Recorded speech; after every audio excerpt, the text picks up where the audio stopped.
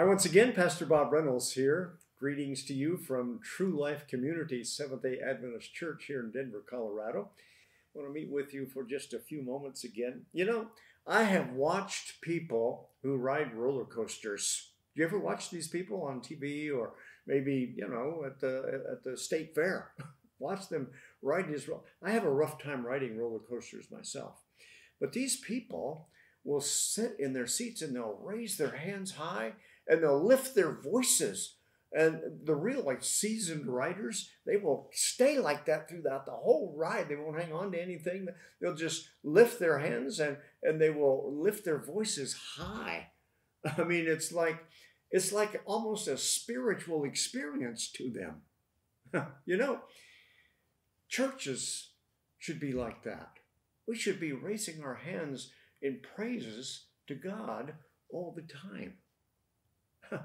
you know, there are three different Hebrew words for praise in the Old Testament.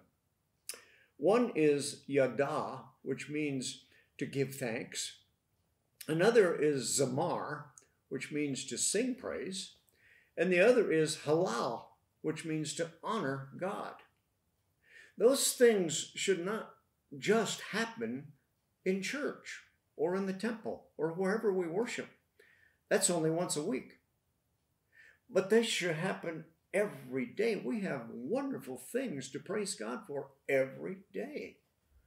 And if you have trouble thinking up things to praise God for, uh, look at the book of Psalms. David was praising God all the time, and he gives us hundreds of ideas about how to praise God. Listen to him in Psalm chapter 63.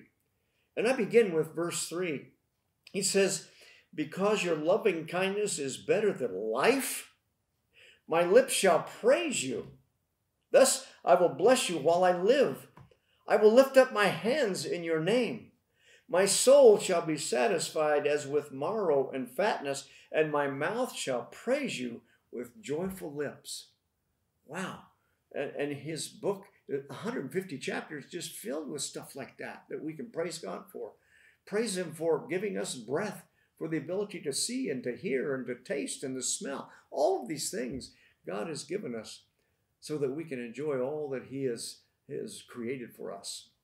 Let's pray that we will remember those things and praise Him all the time and use the book of Psalms if you need to to get ideas. Father, we just thank you so much for for all the things that you give us. We can't even count them. It's just daily and, and hourly that you that you bless us with so many things. We thank you for life.